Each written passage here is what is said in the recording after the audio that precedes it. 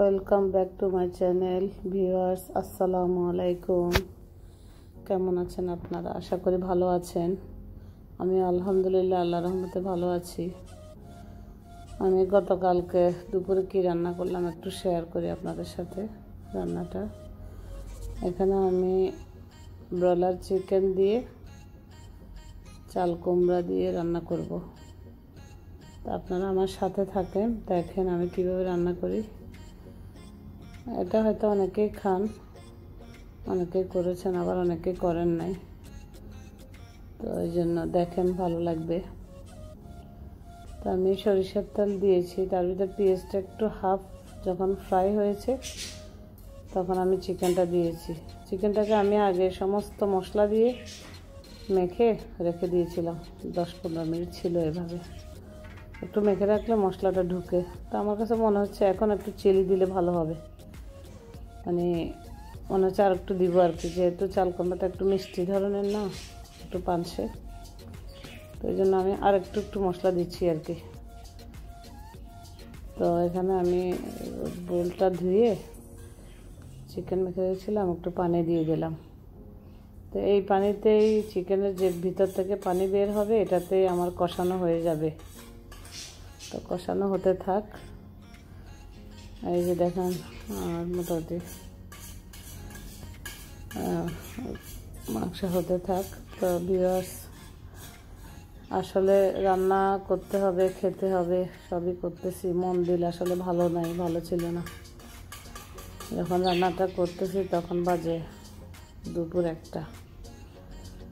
অনেক লেট করে গিয়েছি। তো দেখেন চাল কুমড়াগুলো আমি বড় বড় করে কেটে নিয়েছি। চাল কুমড়াটা একটু বিচিটা শক্ত হয়ে গেছিল। তো শক্ত হয়ে গেলে ওইটা খাইতে আসলে অত মজা লাগে না। কচিগুলা চিংড়ি মাছ দিয়ে বা বিভিন্নভাবে করে, করলে ভালো লাগে। যেগুলো বিচি হয়ে যায় একটু, শক্ত মতো বিচিটা শক্ত হয়ে যায়, ওগুলো আবার আপনার ভাজি করলে চিংড়ি মাছ দিয়ে একদম চিকন চিকন কেটে বা ওই যে আমরা সালাদের মেশিনে কাটি, ওভাবে করে চিংড়ি মাছ দিয়ে ভাজি করলেও ভালো লাগে। তো গতকাল আমার আসলে রাঁধতে ভালো লাগতেছে না, মল, মন দিল ভালো নাই। কিন্তু খেতে হবে, পাশের মানুষকে খাওয়াতে হবে। এই জন্য চাল কুমড়া দিয়ে এই মুরগি দিয়ে একবারে বসিয়ে দিয়েছি। এটা গরম মশলা। এখানে আমি সব ধরনের মশলা জয়ত্রী জায়ফল সব আছে এখানে। একদম সব গরম মশলা। তো আমি মাংস যখনই রান্না করি, এখান থেকে একটু দিই, খুব ভালো লাগে। তো আমার কষানো হয়ে গেছে, হাফ সিদ্ধ হয়ে এসেছিল, তখনই আমি পানি দিয়ে দিয়েছি।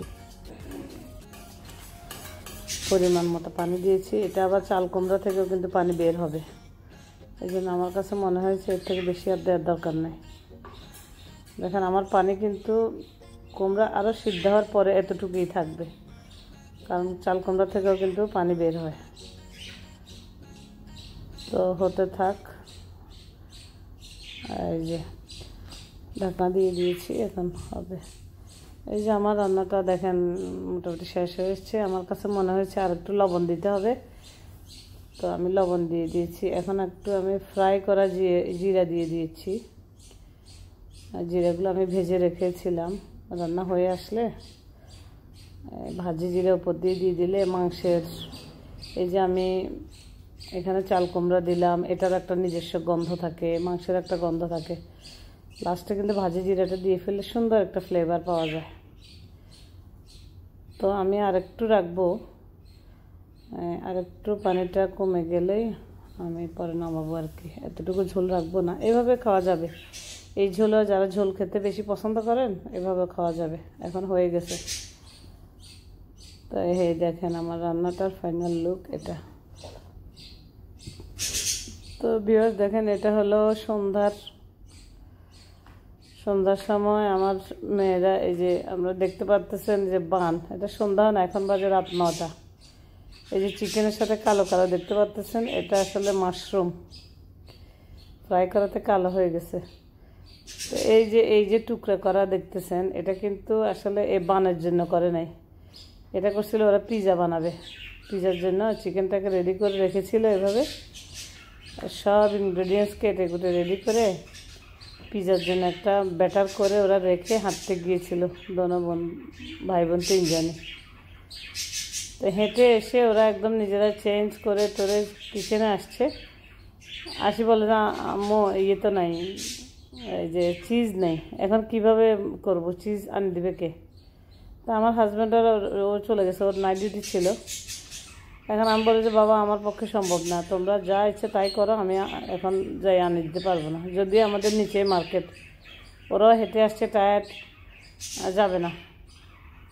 একজন একজনকে বলে, আপু, তুমি যাও। এ বলে, তুমি যাও।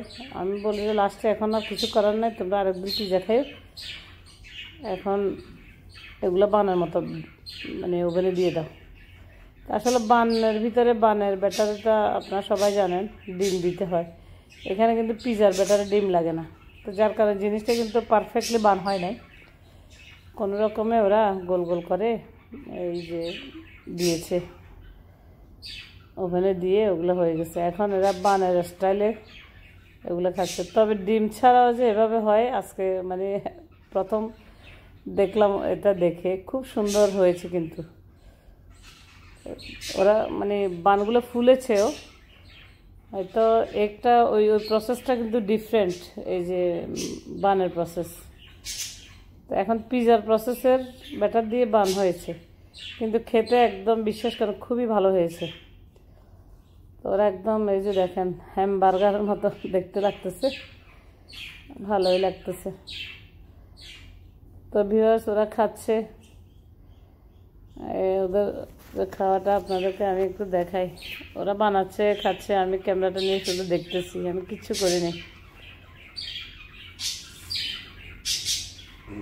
এই আর কি। তো ভিউয়ার্স মা বাপ এমন একটা জিনিস, পৃথিবীতে আল্লাহ উপরে। দুনিয়াতে যদি যতক্ষণ মা বাপের নিঃশ্বাস থাকে, ততক্ষণ পর্যন্ত সন্তানদের জন্য দোয়া, বরকত আর পৃথিবীতে আশেপাশের যত মানুষ, সেটা কাছের লোক হোক, দূরের লোক হোক, রক্ত সম্পর্কের হোক, যত লোকই হোক, সবাই দেখবে যে আপনি স্বার্থ। আপনি কার জন্য, আমি কি করতে পারলাম, কতক্ষণ করতে পারলাম, কতটুকু করতে পারলাম, কতটুকু দিতে পারলাম। এই, এটার ভিতরে কিন্তু সম্পর্কগুলো টিকে থাকে। কিন্তু মানুষের এক একটা সময় আসে যে যেমন গতকাল পর্যন্ত আমি অ্যাক্টিভ ছিলাম হয়তো। গতকাল পর্যন্ত আমি অনেকের জন্য আশেপাশে করেছি, কিন্তু আজকে আমি অসহায়। আমি বা আমরা সবাই। কিন্তু ওই মানুষগুলা যাদের সাথে আমি এনজয় করলাম, যাদের সাথে খেলাম, যাদের সাথে সুখ দুঃখ বাটাবাটি করলাম, যাদের থেকে নিজের এমন এমন লাইফের কিছু আছে, চাওয়া পাওয়া স্যাক্রিফাইস করলাম। কিন্তু এক সময় কিন্তু পাশে কেউ থাকে না। কষ্ট হয়, অনেক কষ্ট হয় তখন। জীবনে অনেকগুলো পথ পাড়ি দিয়ে এসেছি। কিন্তু এখন মাঝে মাঝে মনে হয় যে, আসলে একমাত্র পরওয়ার আল্লাহ উপরে আছে। আর পাশের মানুষগুলোর জন্য যতক্ষণ যতটুকু ভাষা, ব্যবহার, আর্থিক, শারীরিকভাবে পরিশ্রম যতক্ষণ দেওয়া যায়, অতক্ষণ সম্পর্ক ভালো থাকে, ভালো থাকবে। আমরা মানুষরা এরকমই আসলে। এই জন্যই সবারই উচিত অন্তত যাই যার জন্য পারিস ক্যাপাসিটি অনুযায়ী করব, ঠিক আছে? আশা করব না। আশা করলে কষ্ট পাওয়া লাগে বেশি। ওকে ভিউয়ার্স বাচ্চাদের খাওয়াটা দেখালাম আপনাদেরকে। ভিডিওটা এতক্ষণ ছাড়ি নেই অনেক গল্প, গুজব, মনের কথা বললাম। কেউ কিছু মনে করবেন না। আমার জন্য দোয়া করবেন। আমার চ্যানেলটাকে সাবস্ক্রাইব করবেন।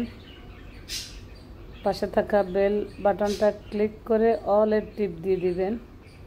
তখন আমার সব ভিডিও নোটিফিকেশান পেয়ে যাবেন। অবশ্যই ছোট্ট একটা লাইক দিয়ে যাবেন। আসসালামু আলাইকুম আল্লাহ হাফিজ।